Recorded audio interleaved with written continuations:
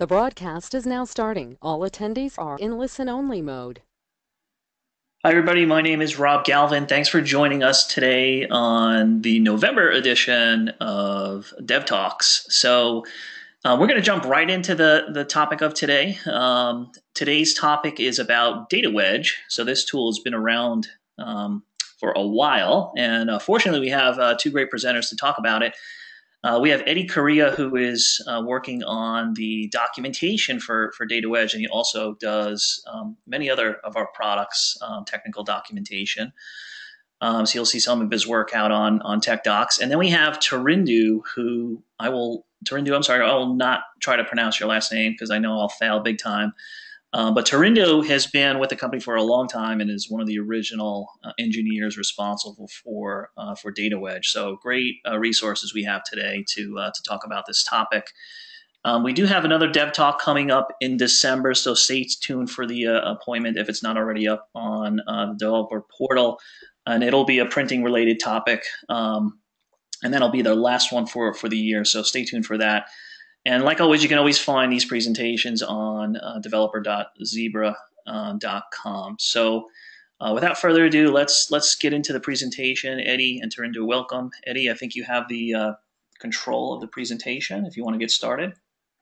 Thank you very much, Rob, and hello, everyone. Thanks very much for joining us today to talk about Data Wedge. I've spent a good part of the last few weeks updating the documentation for Data Wedge 6. And if you're a Data Wedge user now and you haven't had a chance to look at the new docs, please do so.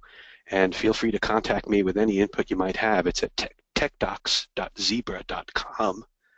and TechWedge, uh, TechDocs is, is available uh, right now for you to look at. So without further ado, let's take a look um, at a data wedge. Now, if you're not familiar with what data wedge is, or maybe just to get a basic understanding, let's talk a little bit about what data wedge is and what it does. Um, hang on a minute, I'm getting a message that doesn't look good. Can you guys see my slides? So Data Wedge is an app that provides data acquisition and yeah, Eddie, we can, we can okay. see your slides, Eddie. Okay, okay, yeah, yeah it was just paused for some reason. Okay, here we go. Yeah. So, so Data Wedge is an app on a Zebra device that provides data acquisition and processing services for other apps on the device. So, exactly what it does is it acquires data from whatever devices are connected or installed in the in the uh, in the device. It can be a barcode scanner, magstripe reader, RFID reader, imager, whatever and then it processes the data according to simple or complex rules. So a simple rule might be take everything you get and stick it in a field. A complex rule might be take the first four characters, skip the next two characters, and take the rest and plug it in. Or it can be pad the front with zeros, pad the back with zeros. Rules can accumulate, and they can be very, very complex and sophisticated. So it can pretty much do anything that you want with the data. Then um, it can also activate itself whenever a selected app is run. So if you have an app on a device that's in your organization, you say, I always want Data Wedge to be active when this app is running. You can set it up that way as well. You can import and export settings for mass deployment. So you can say, okay, this device is set up exactly the way I want it to work in my organization. I can export those settings, send them to my MDM, and send it to all the devices in a given location. And then all the devices will behave in exactly the same way. Um, it sends data to a local app or to a network. So if I want the data to be sent to be acquired and sent to a server someplace and stored there for further processing or uh, manipulation or, or plugged into an application of some other kind, you can do that too. It works on Android and Windows devices, and it supports all major barcode symbologies. So no worries about something that's not compatible. Zebra is constantly updating the symbologies that we uh, that we support. It also can work as a wireless scanner. So check this out. You can have a device in your warehouse that is scanning data, and instead of saving it to a local app, you can have it send data to a PC over Wi-Fi. So all you do is run a little utility on the PC, and it sits there waiting for data come in to come in, and then it plugs the data in wherever you want. So it turns the device into a sort of a wireless scanner. So that's pretty handy. And you can reconfigure data wedge on the fly. So let's suppose that someone in the warehouse says, hey, you know, I, I just got a shipment and there's a barcode on here and it's not scanning. I don't know how to process this. The guys in IT can quickly create a new configuration, beam it down to the device, and voila, it takes effect immediately. And now the warehouse can uh, can immediately receive that uh, that shipment. All of these features are done without ever touching any APIs. So you can build your app the way you want and never have to worry that you're going to be able to access the scanning capabilities of a Zebra device. It's, it's all done for you through DataWedge. So now I know what your next question is going to be. Where can I buy this fantastic product? DataWedge is amazing. Well, the answer is you can't buy it because it comes free with every Zebra device. How great is that? I'll pause now and let that sink in a little bit. Okay, now, how does Data Wedge work? Well, how does this fantastic, this must be so complicated to set up. Well, guess what? It's really not. It works on the concept of profiles, and these profiles contain settings that determine how data is to be acquired, in other words, th through which device, how to be processed, and how to be sent to wherever you need it to go. So let's talk about each of those things a little bit. So profiles generally contain four elements. First is the input plugin. That says, okay, get, get data from a barcode scanner or a magstripe reader or a ring scanner or whatever device you want to get the data from. You tell it which device to look at and get the data from. That's the input plugin. The process plugin says, okay, the data that comes in from that device, here's what I want you to do with it.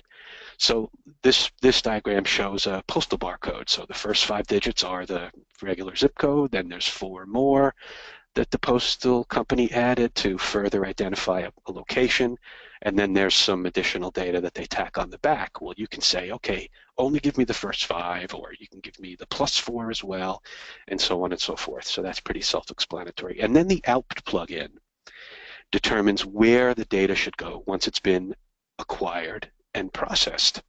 And then, of course, comes the association. So once you've created a profile and you've set up the input, the process, and the output plugins, then you say, okay, apply all of these settings to this application or these applications or whatever.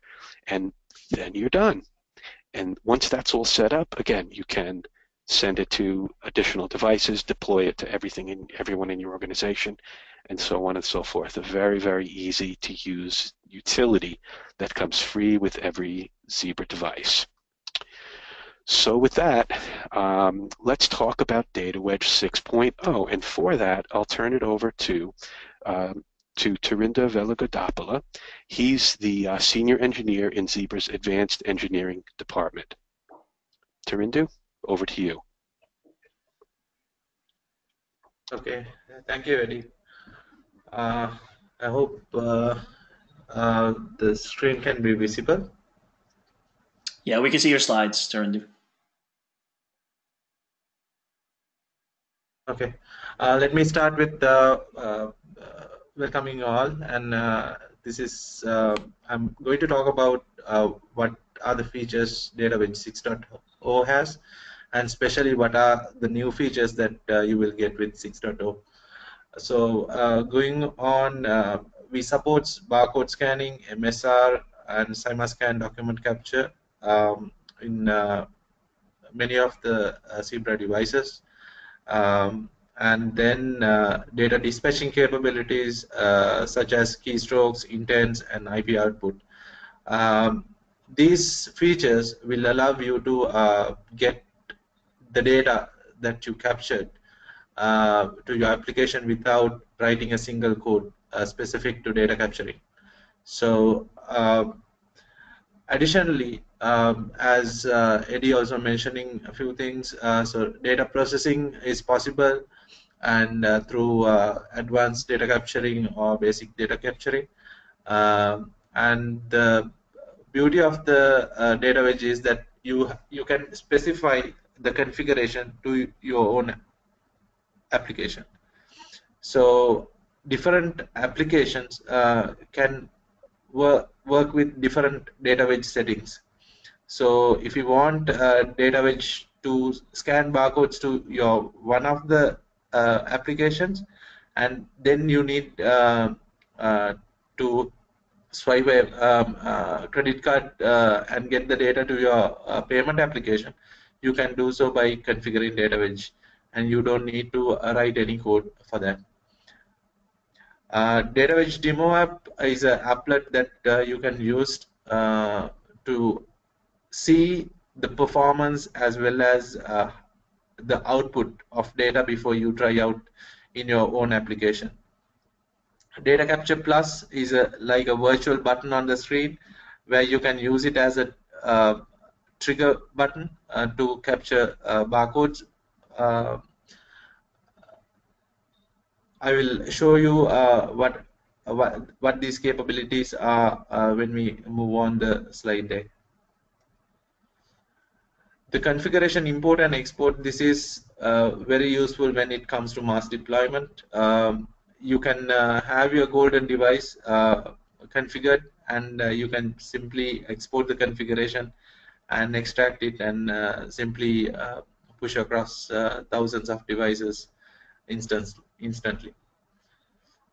The so we talk about uh, zero programming or no code at all but if you are really need to have more control over data which we have set of uh, uh, programming interface uh, or the intents we you can use uh, to control DataWedge. I will go through them at the end of the slide deck so in detail. So let's move on.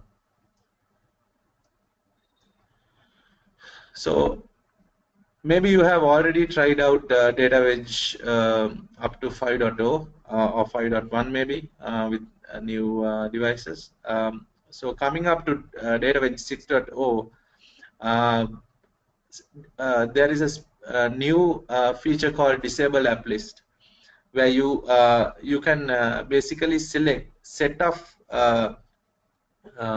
applications which does not require data capturing. So basically, you can have a security over data capturing, and also you can avoid conflicts between application uh, interaction. Uh, ADF updates, uh, previously we didn't have a way to remove uh, characters um, from the captured data. You need to uh, basically tweak with whatever the available um, ADF actions. Now you can simply um, uh, use single ADF action and uh, remove characters. You can remove it from the front, you can remove it from the end, or you can even remove it from the middle uh, of the uh, data. Uh, escape character support uh, in ADF criteria.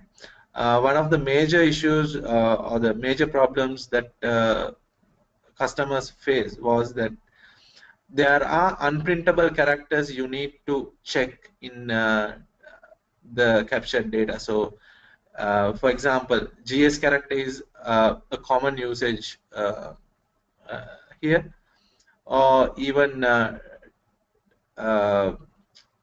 control control characters which are embedded in the barcodes. Um, they they it was not easy to check th those um, characters. So we have introduced the new feature or it is not a new feature, extend the uh, string criteria to um, uh, check the uh, non-printable characters as well in the device uh, or the ADF criteria.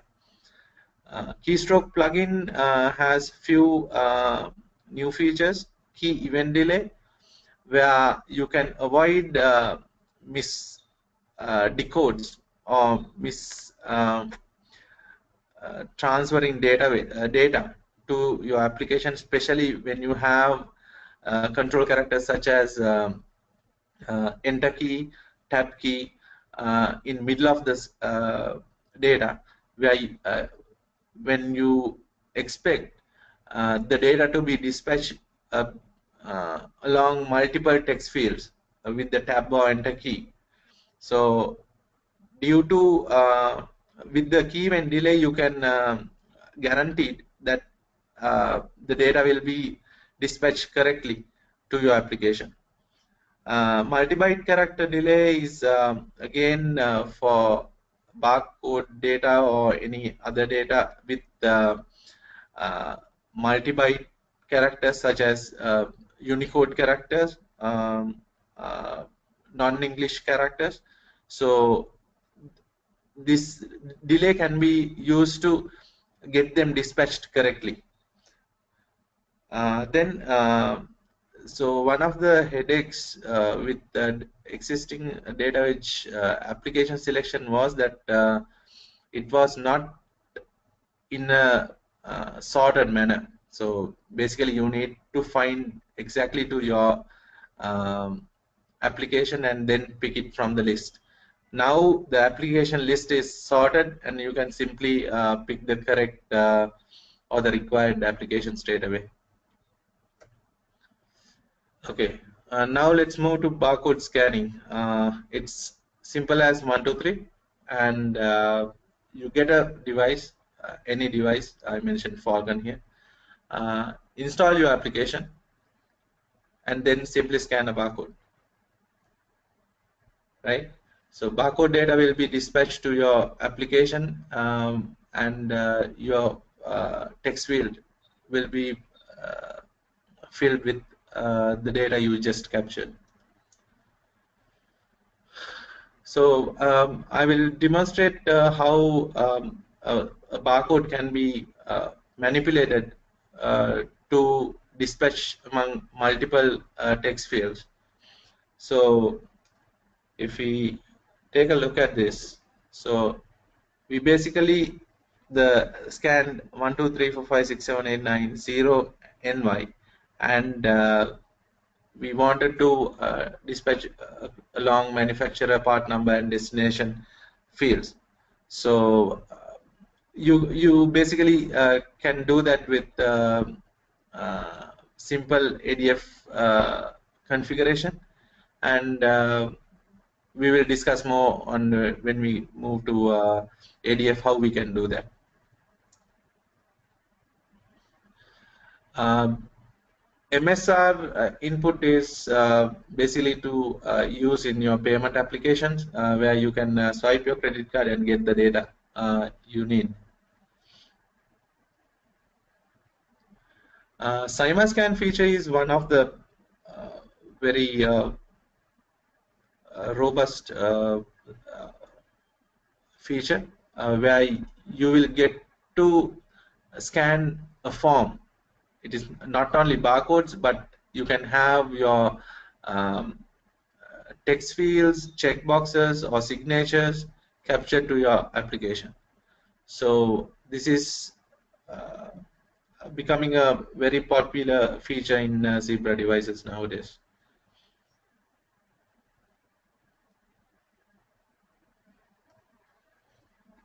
So let's uh, see how uh, uh, uh can uh, can be used by scanning a form.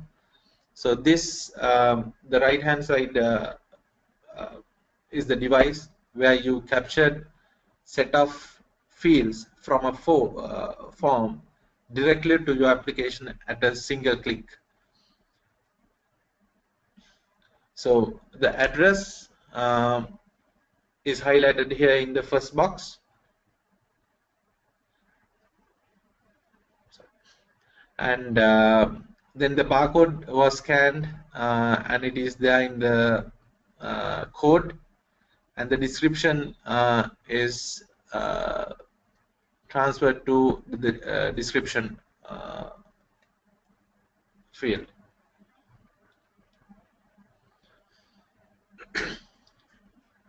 So let's uh, see how we can process the data. Um, so we are scanning the same barcode that we demonstrated last time um, uh, and it has basically 10, uh, 10 digits and 2 characters. Now what we need to do was that we need to send the first 5 characters uh, to the manufacturer field then the next five characters to the part number and then the destination uh, will be sent to uh, the destination uh, field. So basically you can have this uh, done this by uh, having five simple ADF actions. So you basically send first five characters, send next action can be used, then the send tab character which will tap the cursor to the next field. And then send uh, remaining we'll send the rest of the data to the destination uh, field. So this is uh, pretty much useful when you have the keystrokes uh, uh, output selected and if you are using intents you can uh, have it in a more programmatic way so I will explain how you can do them uh, do that uh, when I move to uh, intent output.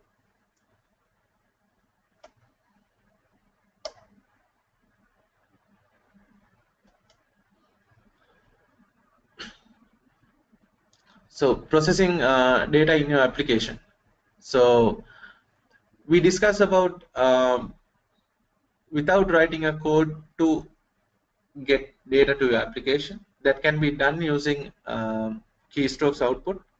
But if you want more data, uh, like what is the uh, barcode type, or what is the length of the barcode, or maybe uh, the input source, eh, whether it came from scanner, MSR, or SimulScan, you can use intent output. So basically, you have metadata such as uh, symbology or the uh, labeled uh, barcode type, uh, the barcode data, barcode length, uh, and even barcode data in in the raw format where you have the bytes, where you can translate it to any way you want when you have the raw data format. So simple and standard Android programming, you don't need rocket science to uh, do that. Um, simple but very uh, efficient. There are three ways you can uh, handle intents. Uh, it can be in your activity or it can be in your service or it can be a broadcast receiver that you have wrote in your application where you can receive the data uh, in the background.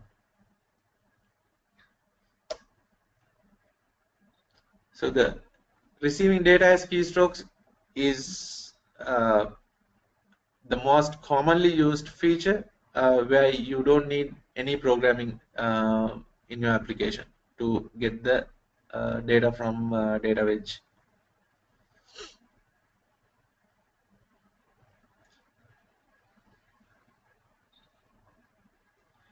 Data wedge input uh, intent output plugin dispatches data using uh, Android intents um, and uh, requires very little programming. Uh, standard way. Intent data carries additional information such as input source, symbology, uh, data length, um, gives extra flex flexibility in validating the data and even uh, uh, separating out and dispatching the data or fill your forms in a correct or more easy way. So there are set of uh, uh, intent extras uh, that uh, defined by data wedge um, to get the uh, data to your application. So these are standard uh, stuff and these are well documented in tech docs as well. So one of the high profile feature uh, in data wedge is uh, that data wedge IP output plugin, where you can transmit uh, the captured data over over to a remote server via network, and uh, the receiving uh, server can be act as a barcode scanner. So simply whatever the data you captured can be dispatched uh, to the application in the foreground uh, without uh, uh, doing anything to your data. So there is a powerful tool called IP ipwedge, which is which can be installed in the PC side, and DataWedge only DataWedge knows how to communicate with ipwedge.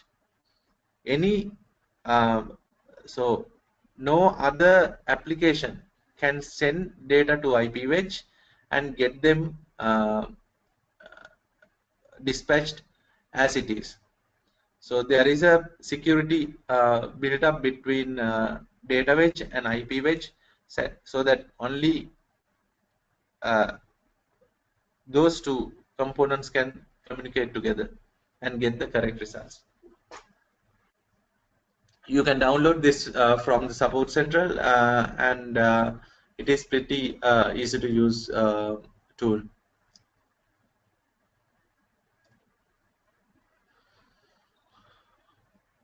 Data processing, um, I have gone through a little over uh, this one in um, uh, the previous slides. So advanced data formatting, uh, which gives you rule-based configuration. Um, so you can basically categorize the data how you need to uh, be processed.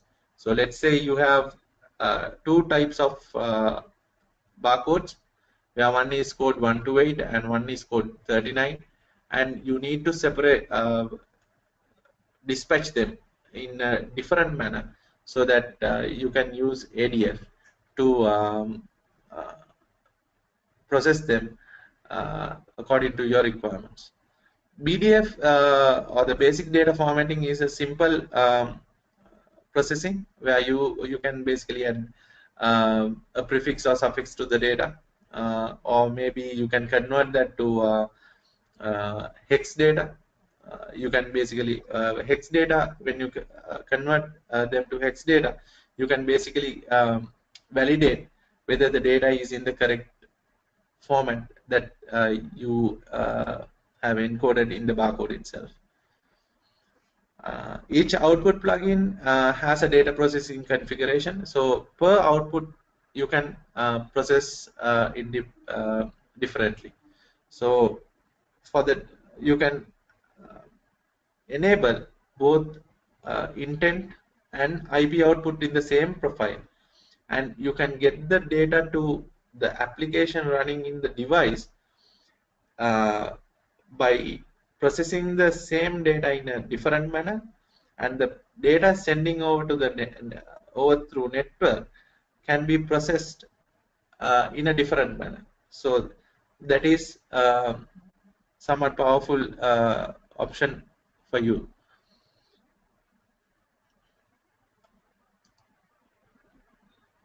So uh, this explains uh, an, a use case where how you can um, use uh, ADF rules. Customer has two uh, batches of code 39 uh, barcodes. In one batch, each barcode is fixed length of 10, 10 characters, and other batch is fixed length of 12 characters. So the application expects the first six characters to be dispatched to the application from the batch 1 and the last 8 characters from the batch 2. So the rule 1 says the bar barcode length or the data length should be set to 10 and it should be a code 39 and uh, the action will be performed as send next 6 so the first six bar uh, characters will be dispatched to the application when it comes to rule 2 the barcode length is uh, set as 12 and uh, it is the same code 39 but you have skip ahead 2 where you will uh, skip two characters from the front and send remaining. Will send the rest of the data where the 10 characters will be dispatched.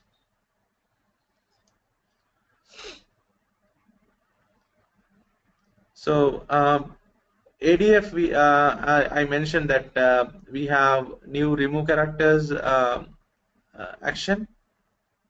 Uh, um, so basically, um, you can remove characters from the front and if we go back a bit and uh, here we are using uh, two actions um, skip ahead two and send remaining so instead of uh, skip ahead to we can uh, remove use the remove characters and uh, remove two characters from the front and then uh, send the remaining uh, data.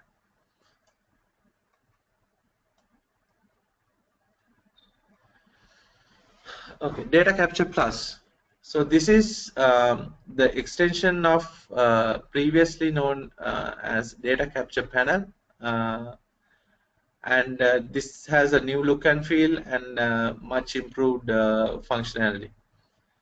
So basically you can enable data capture plus per data wedge profile. So if you have two profiles and if you need data capture plus to be available only in your uh, first application.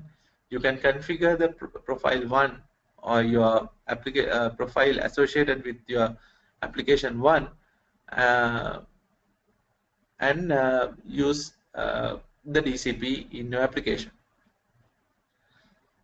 So you have two modes where, where you can have the button mode and uh, full screen mode and you can control them and you can toggle them uh, by just uh, swiping out and uh, you can move the button or tag the button to the left side of the screen or the right side of the screen. And whatever the runtime changes will be uh, persistent. And uh, when you come to the uh, application again the DCP will be displayed in the last kept position So the DW demo is um, an application that you can use to pre uh, uh, the output of your data and you can simply modify the DW demo uh, profile in your application uh, for your application and then just try out the output with the DW demo and you can confirm uh, whether the uh, data is correctly received to your application or not.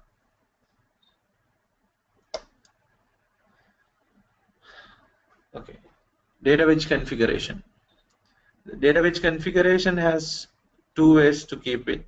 One is local configuration where you have uh, a UI based uh, configuration tool or EMDK profile manager which is um, which you may require EMDK um, uh, for Android uh, plugins uh, with your Android Studio and uh, you can create your own profiles as you wish and then through your application you can configure data uh, as you require. Remote uh, configuration is where you pre-configure the data in one device, you export the configuration and then mass deploy across uh, thousands of devices as you wish.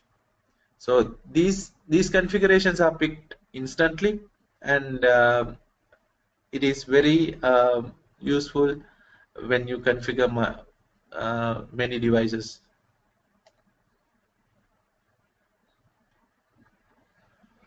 So I will go through a little bit of, uh, along the uh, the configuration UI that you have uh, with data. Um, so once you open the data you will get the list of uh, profile profiles uh, and you can pick uh, a, single profile and configure as you wish. So these are ordered in first you have the data capture plus and then barcode input in profile 0 but if you pick uh, any other profile you will have uh, the application association as well in uh, under after profile enabled. Profiles can be created, edited, and deleted. Profile can be associated with an application, but you cannot associate any application to profile zero, uh, where uh, which is a special uh, profile in DataWedge.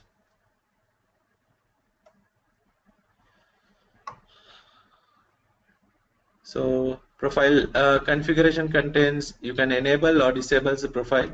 Uh, when profile is enabled, your uh, data capturing is enabled, and if your profile is disabled, your data capturing will be disabled. Associated apps, um, each application, uh, individual applications can have their own uh, data settings. Uh, data capture panel or data capture plus will provide you uh, the virtual button uh, on your application where you can avoid using uh, uh specified scan button uh, but use data capture plus on your application. Barcode input MSR input if the device supports MSR Simul, uh, scan document capture if uh, SimulScan is supported in your in your device. Keystrokes output uh, is the intent output, IP output, and for each output uh, plugin, uh, you have the basic and advanced data formatting uh, listed under each.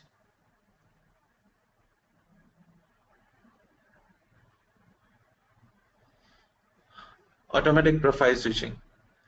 So let's say you have an application and uh, your application uh, uh, requires to enable specific set of configuration or the scanner parameters or set of decoders uh, like code 128 code 39 uh, and your second application needs the default uh, behavior of the device. So you can uh, have a profile and uh, associate it to your application by just uh, going through the application selection and assign that and then when you uh, scan the uh, barcodes or capture data you will get that data only to your application so by disabling profile 0, what you can do is you limit only the data uh, coming through the configured profile for your application uh, will be dispatched only to your application. So uh, that is uh, one way of uh, securing your data uh, or data capturing only to your application.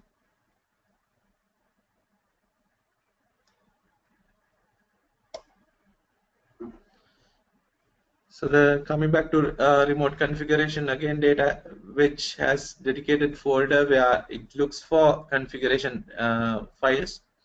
Uh, user can uh, use any MSP or StageNow client uh, to uh, push these DB files.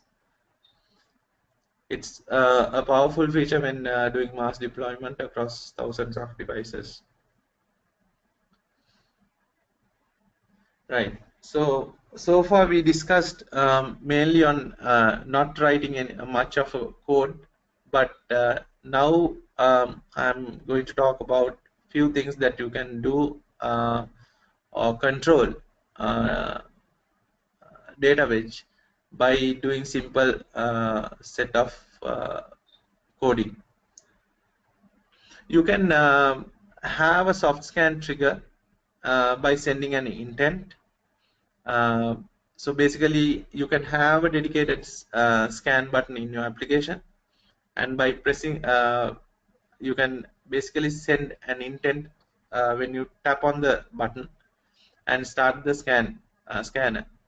So this this can be useful when your device does not want the trigger to be used for scanning, but have has a dedicated uh, trigger button on your application. So, uh, when uh, when you uh, want to have both camera uh, want to use camera for your picture taking as well as um, uh, the barcode scanning what you can do is you can use the second item listed here, scanner input plugin intent, where you can either enable or disable the scanner, barcode scanner as required. So for example, if you uh, the same application uh, you're using want to capture uh, a, a, picture using your uh, camera, you can basically send the intent to disable the uh, barcode scanning and then take the picture and send another intent to enable barcode scanning so that you can use both the features where you can capture a, a, a picture as well as a barcode in your application. You can uh, check what are the available scanners by using enumerate scanners intent uh, and you can you can further uh, configure data wedge or switch data wedge settings runtime by using set default profile or reset default profile or switch to profile. So these are well documented in tech docs and uh, I think it is much clearer than uh, uh, simply discussing here. Uh, so I, I, would prefer you to uh, go through the documents. They are very explanatory. So this is um, an example of how you can send a soft scan trigger intent.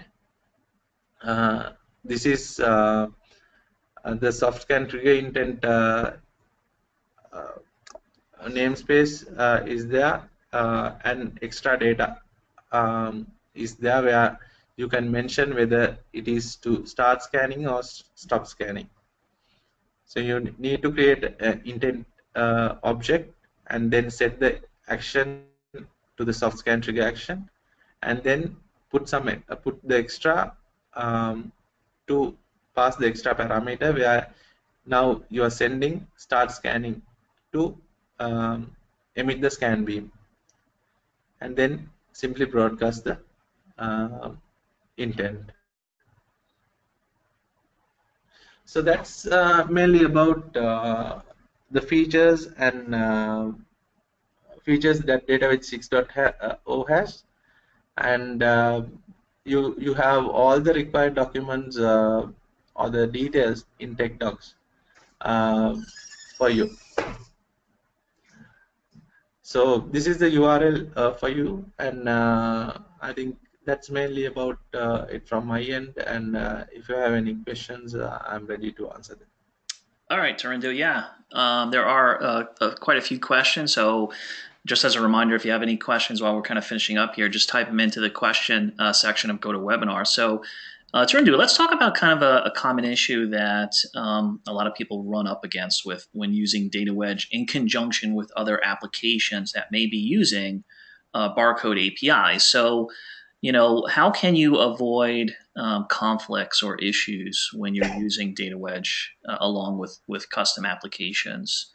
um, you know, kind of running at the same time? What sort of strategies? Um, maybe you can kind of summarize what the issue is and what people should try uh, to avoid, and how can they avoid it? So, basically, if you're if you're talking about um, uh, you uh, or users uh, using uh, EMDK application with uh, which uses EMDK barcode APIs and with DataWedge, right? Yeah, so let's say you have an application that's using EMDK and it's loaded the same time that another application is using DataWedge. There may be some conflicts in accessing the the barcode scanner, okay. right? So yeah, so that uh, those complexities are uh, basically handled between the EMDK and DataWedge, and usually you don't uh, uh see much inform uh, much uh, issues there, but in case you have like some synchronization issues where um, you don't see uh, the barcode scanner getting enabled, uh, the best way to do is allow some time uh in your application um, when it comes to the foreground and uh, then uh, enable the barcode scanner through EMDK. So that way, uh, it allows uh, data wedge to freeze, uh, uh release uh, the scanner, and uh, then you can use the scanner with through EMDK APIs. It's a common issue that uh, that comes up uh, on the developer community. Is um, you know why I've I've activated the scanner? Why isn't it uh, enabled in my application? And it's important to know that the use of the scanning hardware is exclusive. If data wedge is enabled and active, no other application will be able to access the scanner until data wedge releases control. And whatever application is using the scanner has exclusive control of the scanner. So it must explicitly release the control uh, of the scanner before another app will be able to uh, access it. And that's clearly documented on TechDocs and in several locations because I thought it was important enough to make sure that folks knew that because it's a question that does come up quite often. So you need to make sure that you disable the scanner. Uh, you just you can disable data wedge entirely if you if you need to uh, to make this scanner available to your app. Actually, one one suggestion uh, on this one is that uh, you have uh, this new feature of uh, disable app list and uh, in the disable app list what you can do is uh, you can uh, assign uh, DataWedge uh, under disable app list uh, application list you can list your application where you don't need DataWedge to be used for data capturing so in okay. that case uh, in that case you can uh, basically uh, command data wedge to release its resources when your application comes to the foreground. Okay, so and that's a new feature in 6.0? Yeah. Oh, okay, yeah, that sounds very handy. I mean, basically what you're saying is, um, you know, turn off data wedge if the following applications are running, and then you would identify those that are using barcode basically, and then it releases it essentially. Okay. Cool. All right, um, let's talk about another new feature. Let's talk about Data Capture Plus. Okay, this is a, I think this is a new feature to 6.0. I may be mistaken, but um, when so let's talk about the use cases. When would you suggest that you use Data Capture Plus versus the actual physical trigger button? Yeah, so uh, in some devices like uh, the Cremo, uh, your you have a trigger button uh, at the uh, back of the uh, device, right? Mm-hmm. But you may be uh, wearing it, uh, wearing the tablet on your arm at times. So you can simply enable the um, data capture plus and then by looking at the uh, screen while you are doing some some uh, uh, navigation on your application when you are when you are ready to scan you can just touch the data capture plus and you can basically scan the barcode okay so it's gonna it's gonna depend on a lot, typically like the the physical use of the device. Are you are you, you know, looking at the screen? Are you are you tapping the screen? Um, is it easier for the user to do that as opposed to tap, you know, pulling the trigger wherever that is? In your case, you're talking about a wearable, and the trigger is is uh, possibly somewhere yeah. else, right? But okay. Any other suggestions for uh, Data Capture Plus usage? Yeah, uh, I I don't think we uh, yet to have uh, all touch devices, uh, but uh, devices which does not have uh, much of hardware keys um, can also be used. Okay. So future devices possibly that are just all touch. Okay, got it. Um, another question regarding, let's see, Data Wedge 6, is this just uh, Android or is this Windows devices as well, this version? This is uh, only Android version. Okay, so it's only Android version. We're not planning on releasing an updated data wedge for Windows devices. Is that correct? Yes. Okay. All right, um, cool. Let's see. Let's see. Is this okay? Uh, next question was: Is it possible to use camera and the barcode reader at the same time? Yeah. Uh, so uh, that's what I uh, uh, explained in one of the. so there is a way to, or the inter. There is an interface to application which can be used to notify DataWedge to disable the scanner. So, for example, uh, on your application, uh, when it comes to the foreground, DataWedge uh, uses uh, the barcode scanner to capture barcodes. But when your application needs to capture an image, you can send an intent from your application to disable the uh, barcode scanner and you can uh, use basic uh, Android APIs to capture an image and then re-enable this uh, barcode scanner with data DataWedge by sending another intent. So it, it, it requires some uh, uh, configuration or programming, but that is possible. Okay, I think that answered that question. If it, if it didn't, if, if you can just kindly um, follow up with another question. Um, I believe we hit most of the um, the questions. There was one other one which which I had answered, um, which I think was satisfied, but I want to ask it anyway since we have a few more minutes. But it has to do with um, GS1 barcodes and um, any recommendations for um, intent output and handling GS1 barcodes in terms of separating the contents. He was asking about, you know, is it possible to kind of separate the the barcode before sending the intent and and um, I was recommending that he basically just handles that inside of the, the code when the intent is received. Um, any thoughts on on GS one, GS characters or un unreadable characters when using an intent output?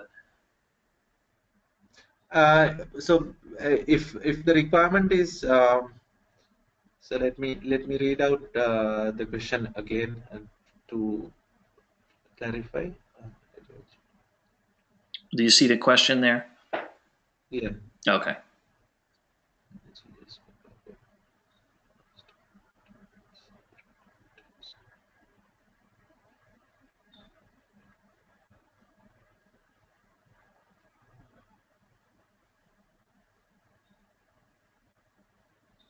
Yeah uh, so uh, if you want to separate out uh, as uh, the data with uh, multiple intents uh, there is a way to do that. That is by adding a pose between the data separation. So there is a um, DataWedge ADF action called send pose which you can um, set a time interval between the data. So uh, let's say you send first five characters, then send pose for two, sec uh, two seconds, and then send the remaining, you will get two intents with that. Ah, so an ADF action send post, is that what you said? That's basically sending an intent in the middle of processing? Yeah. Ah, okay. That's interesting. Yes. I didn't think about that. Um, does this barcode have like different characters that like what is the significance of the GS1 barcode symbology? Is there unreadable characters or any special handling that you would need to like why would you need to chop it up like that? Uh, G- Isn't that the group uh, separator? Uh, group okay. separator character. Okay, got it. So, so into the different groups. Data, right, right. Okay. Data is contained in one string, but it's separated by something, and that something is the GS character. Ah, okay, that makes sense, Eddie. Thank you. Okay, um, I think that answered the question, Matt. If there's any other follow up on that, please let us know. We do have a few more minutes.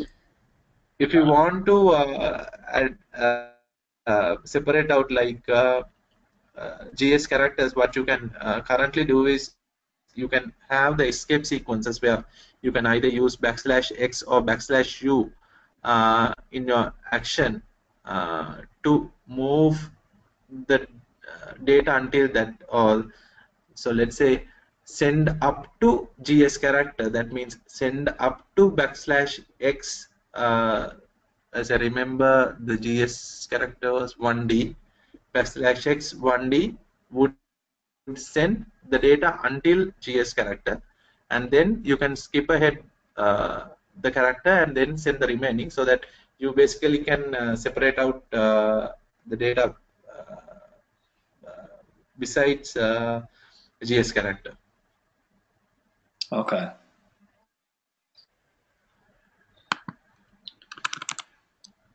All right. Um, so we're, we're kind of reaching the end of the call. Are there any other questions that we need to ask Tarindu or Eddie um, while we're kind of waiting for the last questions? I just wanted to thank you all again for, for taking the time out of your day to attend this session live. I know you, you have a busy day, so I appreciate you coming. Um, the next session that we do have is December 14th and it's it is posted on uh, Launchpad or the developer portal, uh, as we're calling it nowadays. Um, and it's about label design um, when it comes to printing. So creating unique labels, clear labels for your application, a good detailed look at label design for uh, for printing applications. So be sure to tune into that one. Um, I don't see any follow up questions coming in. So I want to thank you, Eddie and Tarindu, for coming on.